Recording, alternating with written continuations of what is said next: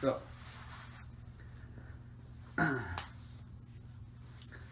what's your name? Erica Reyes. Being here with me and interviewing. Um, so, supposed to do this interview for school and talking about my blog.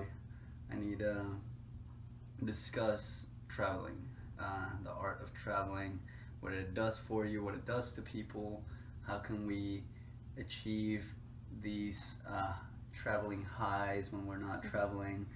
Um, how can you travel cheaper? How can you travel faster? Not faster. How can you get to places with ease? Uh, is it for everyone? Like, what are some roadblocks that stop you from traveling?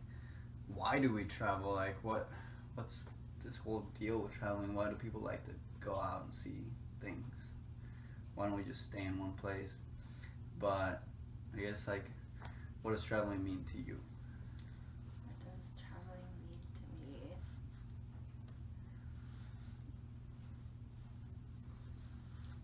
Hmm.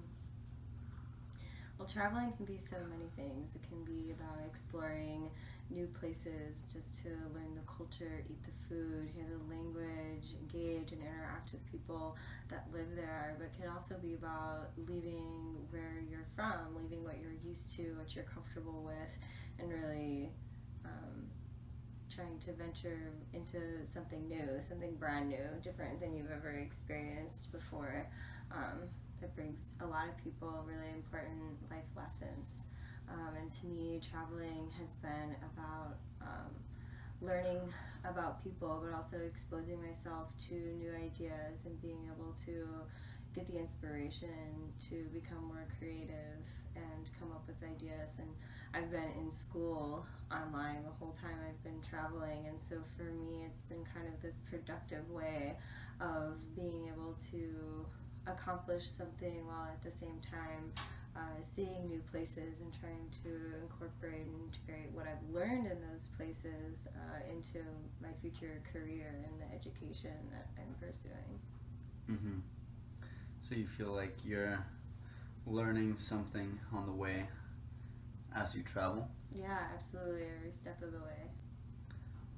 And you mentioned that you're also going to school while you're traveling. That's is that something that a lot of people do, or would, have- is that something you would recommend for people to do?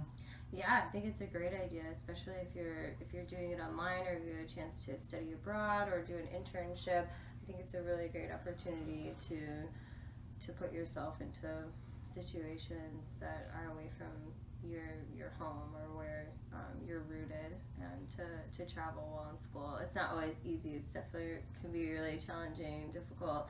Manage your time and remain disciplined um, to get everything done, but it's definitely uh, a great way to travel. I think I haven't met too many people who are also in school online while traveling. I've met Yeah. a couple people. I've met people who are doing continuing education stuff while they're um, a traveling nurse. Um, so yeah, you meet a lot of different people who are doing different things on the road.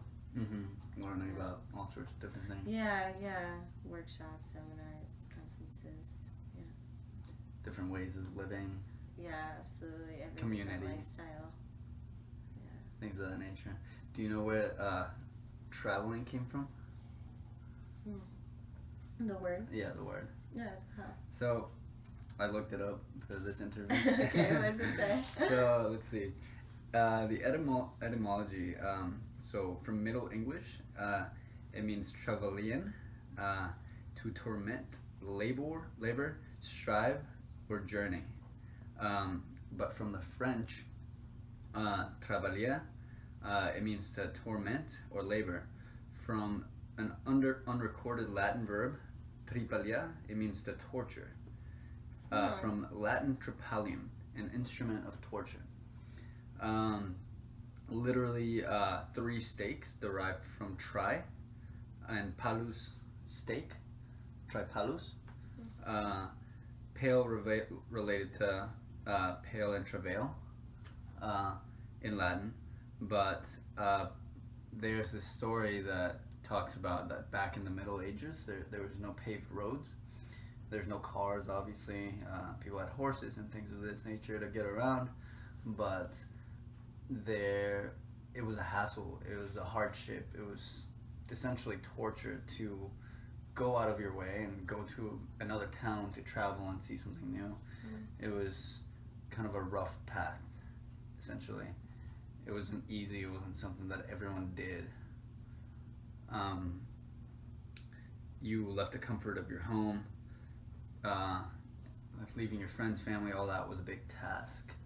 Um, but Yeah, now it's become such a convenient thing. It's so easy Yeah. for us to travel. It's so accessible. right, super Yeah. accessible I could right be now. across the country in a couple hours if I wanted to. Yeah, Yeah. on plane, car. hmm Absolutely. What do you think about that? Like the definition of like uh, torture, like where it came from, like a hardship. it makes sense where it came from. Yeah. It speaks about like labor. You know, it took a lot of work to Yeah. get to where you're going. You weren't. It wasn't for for uh, leisure, for fun. Um, especially in Western society, we have a lot of time for for leisure, time to travel, ability to travel, accessibility, as I mentioned before. And so I think now we're we're more able to do it, and it isn't always very torturous. Um, at least for a lot of part of it, but other times you are put in situations in other countries um, where it is more difficult to get around, or there's different modes of transportation than Mhm. we have here. Um, Like So a readily third world available. country or something. yeah, or even you know when I was in Mexico, everyone takes colectivos to get around. You know, it's a pickup truck with a a cover over the top, and everyone just pays you know seven pesos to get a ride to the market, to the beach, anywhere, and they all go on different roads and have different routes. It's basically their bus system. hmm Um, but that's a really common way to to get around there. Um, so yeah, it's kind of cool. But it's not always uh, hard work. But it's funny how you said it wasn't always you know wasn't like oh I'm gonna go travel. It took a lot. You know. Yeah. Now people um, don't want to leave the comfort or want to leave the comfort of the home their home, whereas then Right. they didn't. You Didn't. know. Or going to travel. It was more of um, if necessary. Do you think there's uh, something to be said about this hardship, uh, this metaphor of hardship and uh, having to go through the road less traveled, like breaking away from what you know, the comfort, and trying to learn, like if we, as we get our, ourselves outside of our comfort zone, we learn things that we otherwise wouldn't. Um, kind of like that's how we learn the greatest things in life. Without the bad, there wouldn't be good. Do you think that correlates?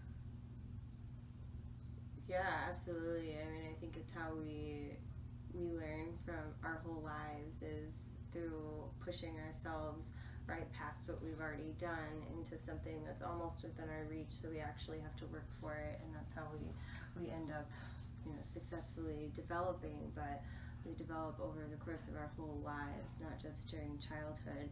Um, and it's uh, it's a process known as, as scaffolding, and you work within your zone of proximal development. And so, you know, as a child, you, the teacher would put the child in the position of here's this task to do that you can almost do, maybe with a little bit of help and guidance that you can't quite do by yourself, um, but you're going to be able to accomplish it with help, you know, and that way the child is able to do it. Whereas if they gave them a task that was even harder, it was way out of their reach, they would get frustrated, Mhm. their self esteem, you know, would remain low, it would not, you know, promote healthy self esteem or confidence, um, and the ability to, you know, work through each task. So I think that adults try to put themselves in positions such as you Mhm. know the the hardships of traveling that can come with traveling um, in order to push themselves to learn because they're putting themselves in that zone proximal development where they can like take that next step and learn the next the next lesson you know? It's actually really cool. Never thought about it like that. I wrote a whole thing on it. That's really cool. I like Yeah. that. yeah i think we're always kind of working to grow whether we know it or not Yeah. yeah What has been your most life changing traveling experience? Mm. It's hard to say what the most life changing experience was. Um, I think everything combined together has really created the experience. Um, hmm. It's all really been rather transformative. Back at it again. Back at it. Back at it. Um, so where were we? Um, what do you think has been the most uh, changing, the most instrumental trip that you've ever had, the most life changing ex- experience that you've felt through your travels?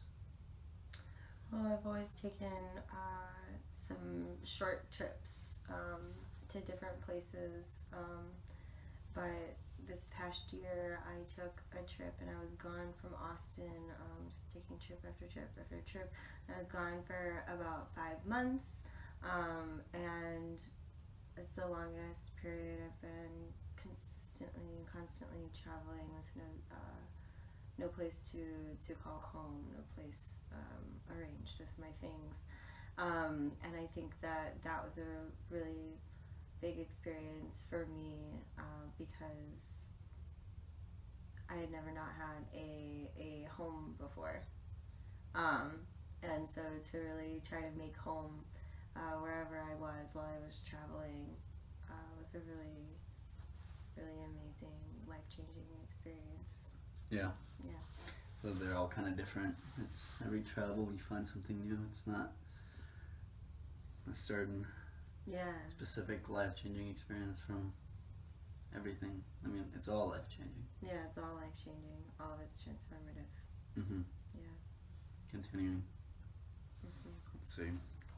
Um, just to make it quick, um, have you ever used any uh, any traveling websites? Have you ever exchanged labor for room and board?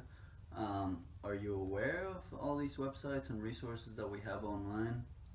There's so many cool things that travelers can use now. So many different sites. I'm sure I don't know about all of them, but I've used Couchsurfing, and Mhm. that's been really amazing. You don't trade any uh, resources for that, but um, it's a really great way to meet people and uh, a way to kind of feel the generosity of, of humanity too that offers uh, home and experiences to a lot of people. But I've also used Workaway.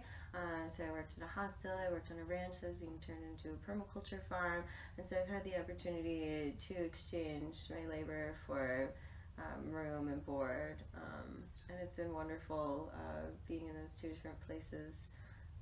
They were quite different, but a lot of fun. Yeah, very Yeah. neat.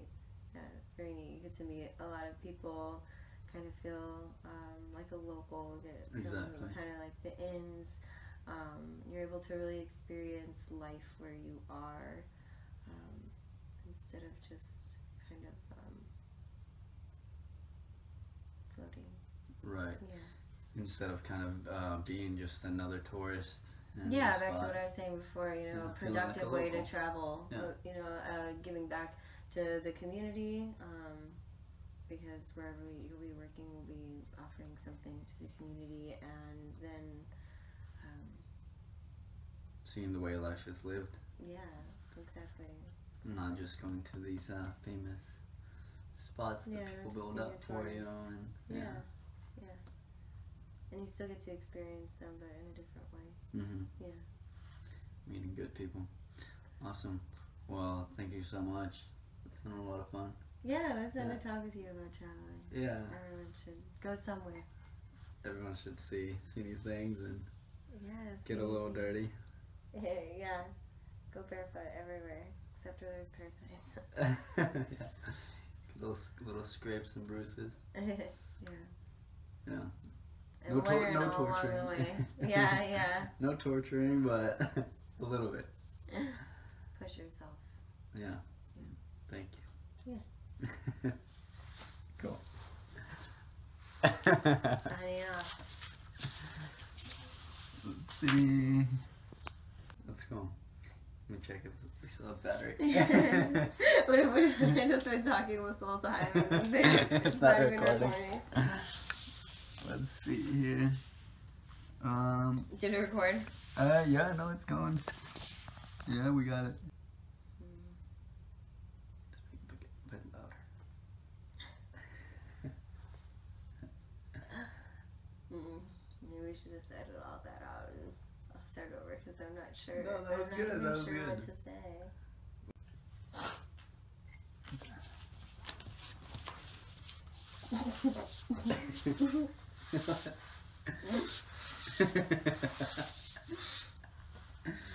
okay, so